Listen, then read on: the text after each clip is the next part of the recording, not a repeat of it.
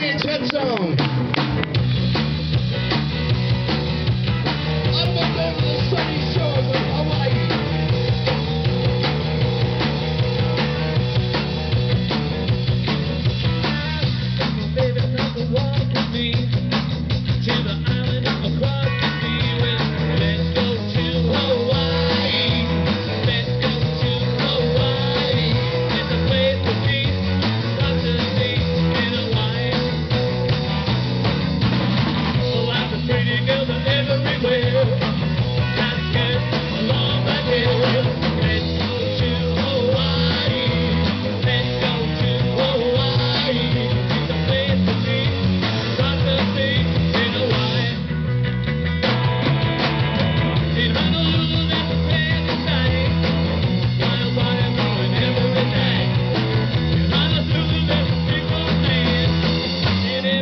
Hum.